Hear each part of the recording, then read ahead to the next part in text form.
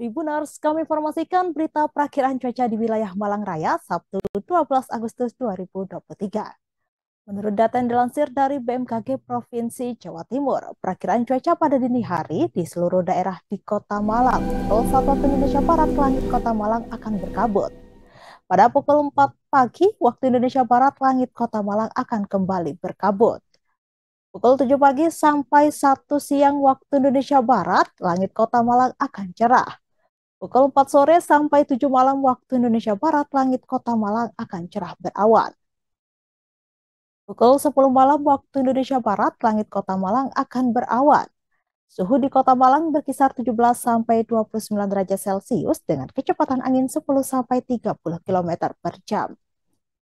Sedangkan untuk wilayah di Kabupaten Malang, dini hari pukul 1 waktu Indonesia Barat, langit Kabupaten Malang diperkirakan akan berkabut. Pukul 4 pagi waktu Indonesia Barat, langit Kabupaten Malang akan kembali berkabut. Pukul 7 pagi sampai 1 siang waktu Indonesia Barat, langit Kabupaten Malang akan cerah. Pukul 4 sore sampai 7 malam waktu Indonesia Barat, langit Kabupaten Malang akan cerah berawan. Pukul 10 malam waktu Indonesia Barat, langit Kabupaten Malang akan berawan. Suhu di Kabupaten Malang berkisar 17 sampai 30 derajat Celcius dengan kecepatan angin 10 sampai 30 km per jam. Sedangkan wilayah Kota Batu, dini hari pukul 1 waktu Indonesia Barat, langit Kota Batu diperkirakan akan berawan. Pukul 4 pagi waktu Indonesia Barat, langit Kota Batu akan kembali berawan.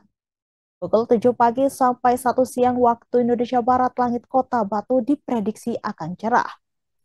Pukul 4 sore waktu Indonesia Barat, langit kota Batu akan cerah berawan. Pukul 7 malam waktu Indonesia Barat, langit kota Batu akan berkabut. Pukul 10 malam waktu Indonesia Barat, langit kota Batu diprediksi akan berawan. Suhu di kota Batu berkisar 12 sampai 27 derajat Celcius dengan kecepatan angin 20 sampai 30 km per jam. Sekian informasi perakhiran cuaca di wilayah Malang Raya. Saya pamit undur diri dan sampai jumpa.